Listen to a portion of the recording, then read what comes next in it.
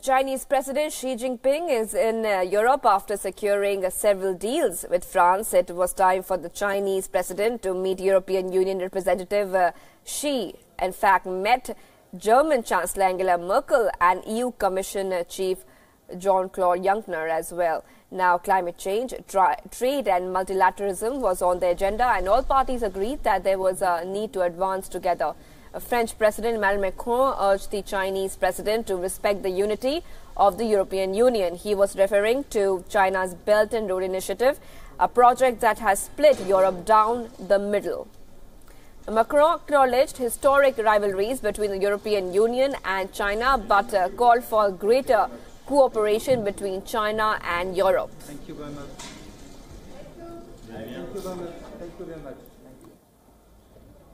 Nous souhaitons pouvoir avancer sur la construction d'un multilatéralisme rénové. Alors nous avons des divergences.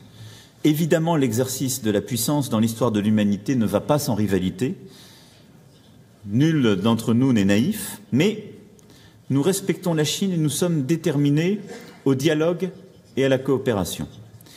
Et nous entendons naturellement de nos grands partenaires qu'ils respectent aussi l'unité de l'Union européenne comme les valeurs qu'elle porte pour elle-même et dans le monde. Uh, there is increasing uh, nervousness over Beijing's massive investments in Europe. The worry is that China will use the BRI for exercising, in fact, uh, diplomatically and financially.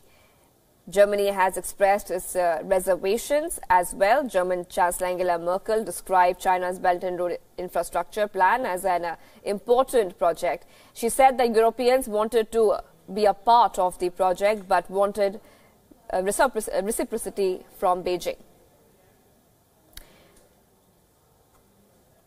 Und ich habe noch einmal deutlich gemacht und freue mich auch, dass China das recht positiv sieht, dass wir während der deutschen EU-Präsidentschaft im September 2020 einen sogenannten Vollgipfel machen wollen, also alle Mitgliedstaaten der Europäischen Union plus China, ähm, dass wir dazu nach Deutschland einladen wollen.